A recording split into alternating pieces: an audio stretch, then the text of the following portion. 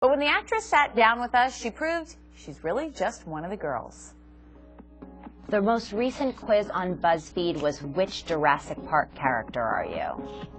And I was very upset because I answered all the questions and it told me that I was Newman from Seinfeld.